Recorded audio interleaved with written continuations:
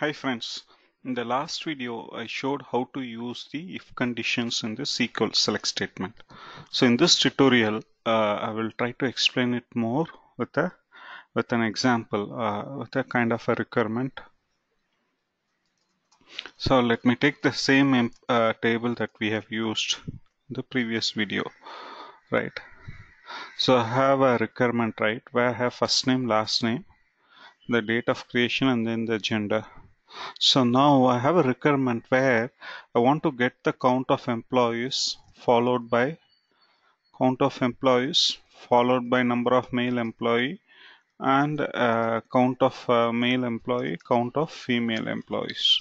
Right so this is my requirement. So I need an output with three columns and then count of female employees right? So this is basically it's more of a uh, right uh, three columns with these values. And uh, let me do order by gender for us to better understand.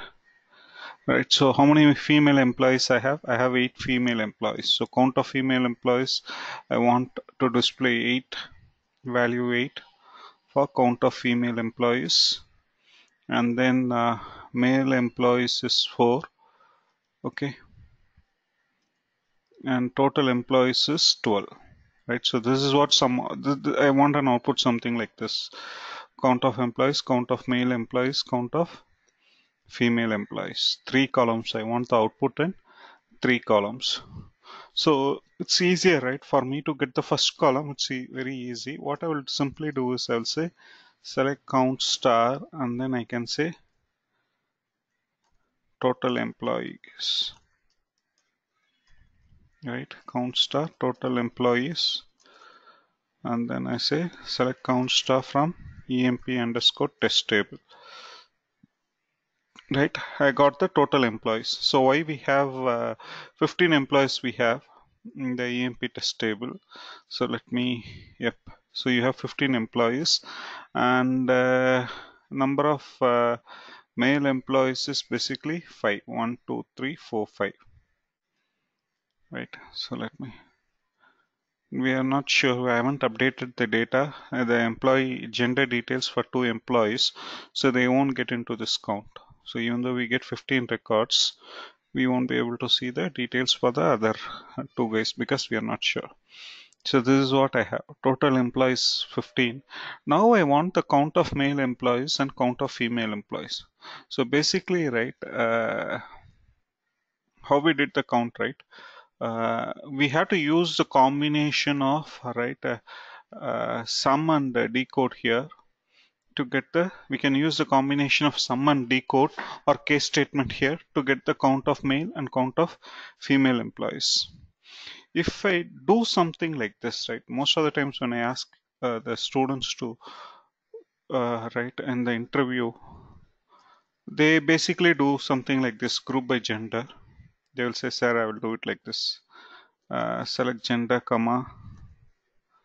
So they will say two employees we don't know five eight.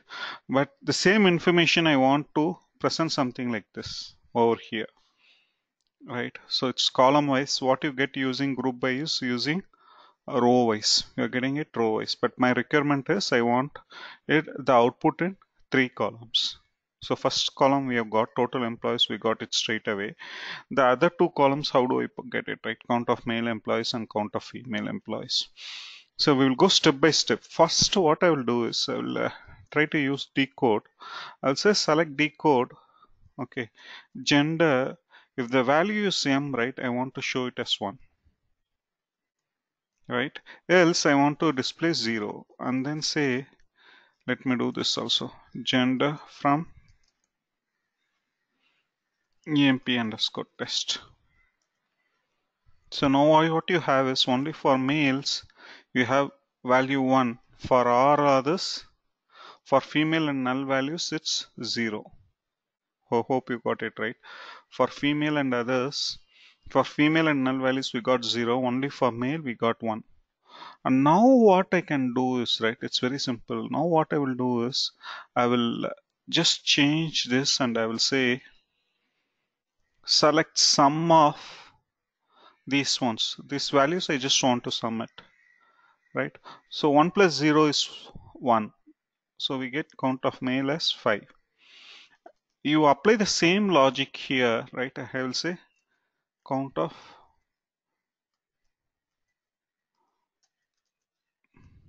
male employees right? So now what you got is count of uh, okay here you go. Right now you got a count of male employees. You copy let me copy and paste this again right okay let me do this using the next one let me do it using the case statement. So what I'll do is select case when gen case gender okay then I can say when female then 1 else 0 and okay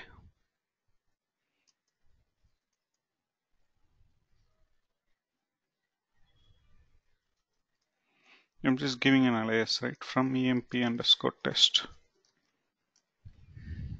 So you will see 0 0 and let me do gender also right? So that we can understand it clearly. You see only for female you get 1 1 1 then on top of this basically what we have to do is we have to do use the sum. Let me do the sum here right? And why I'm removing gender from the output is basically if I run it with gender, right, what you will see is not a group by function. Not a single group group function because we have to use explicitly use group by. That's a uh, video for another uh, section. So now I use sum as for female. So I can say count of male similar to count of male. I can say count of female employees right? So now we got count of female employees as well. So now it's very easy. What I will do is select count star right for total employees comma and then let me copy and paste it for count of male employees. This sum of decode. I'm pasting it here. And another case how to do it using case gender I have shown So now if I run it, you get the output. Total employees 15, count of male employees is 5. I haven't given an alias here. So if you see here, right, because of the space that's being available, we are giving the space in the column alias and we specify it in quotes. Without space using underscore, there is no need for quotes. So I can simply say, right, uh, let me use the same logic, right? One we have done above, count of female employees right? Let's have this alias yeah. So now you have total employees count followed by count of male employees and followed by count of female employees 15 5 8 so we get the same output. Uh, sometimes the example that I showed most of the candidates in an interview will answer something like this. Sir we can write like this. But uh, our requirement is where we want it across columns. We want the count across the columns. So this example right we can stretch it anywhere for any values. Say for example based on the application status total applicants number of applicants verified total applications number of applicants verified uh, and uh, right uh, uh, processed and things like that. If you want different counts we generally use the combination. We can use the combination of sum and decode or case statements and the substitutions we can do like this and get the required output. I hope you guys uh, got an hang of where all this requirement will come in your actual day-to-day -day work.